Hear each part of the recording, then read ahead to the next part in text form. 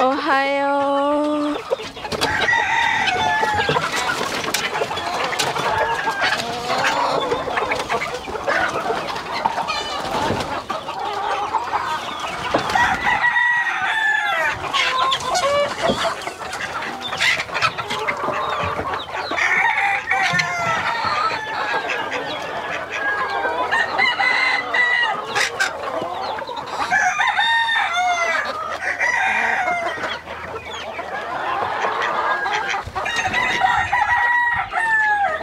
和鸡毛哦还有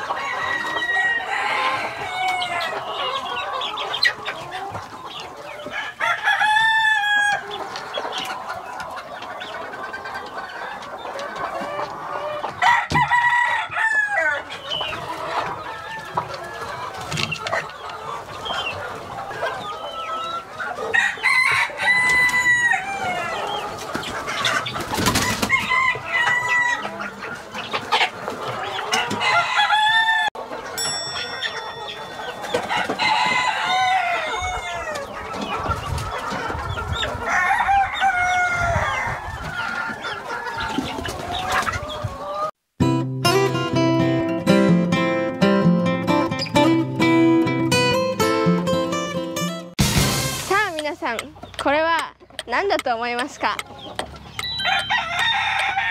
いいえ鶏のひよこではありません。水鳥でもありません。くちばしの形と足の形が違います。動きも変です。七面鳥でもありません。何でしょう？正解はホロホロ町です何のことって思った人も多いと思いますがホロホロ町は、えー、アフリカのサバンナにいる通常は動物園で見られる鳥です。でこの子たちは食用のホロホロ鳥です。うちでは別に食べるわけではありません。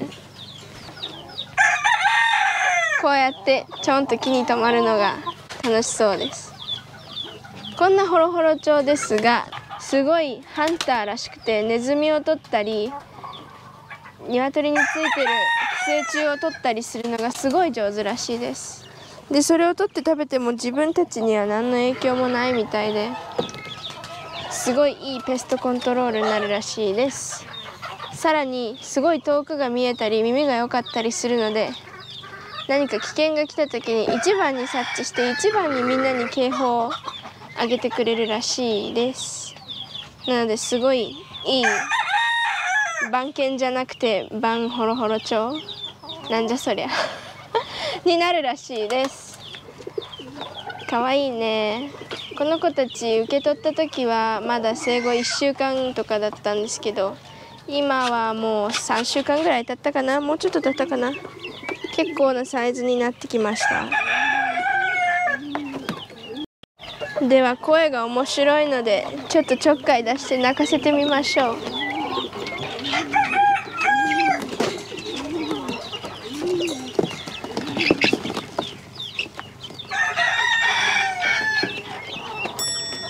泣かない。捕まえに行きましょう。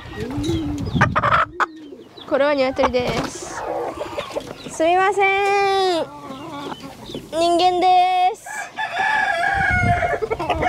恐怖をお届けしに参りました。人間宅配便です。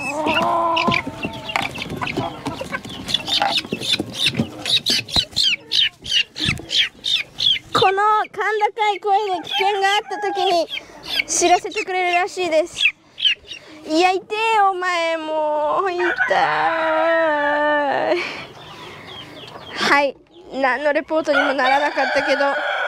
あのギャーギャー言う甲高い声で危険が来たら知らせてくれるので3軒ぐらい隣の家でもし飼ってたらめちゃめちゃ聞こえるらしいです。そして夜も起きてるので24時間体制で警備をやってくれるそうです。こんなよくわからない見た目のホロホロ鳥ですが遺伝子上は鶏とすごく近いみたいでなんとホロホロ鳥と鶏の愛の子ができる事件が多発しておるそうです。どこ行くねん？帰るんかい。でもそのホロホロ鳥と鶏との間にできた子供はそのさらにその後に子供ができることはなく繁殖できない状態で生まれてくるのでなんかちょっと微妙なコンビネーションですね。とにかくホロホロ鳥はうるさいらしいので鶏よりうるさくなったら笑いましょう。今は楽しそうにやっております。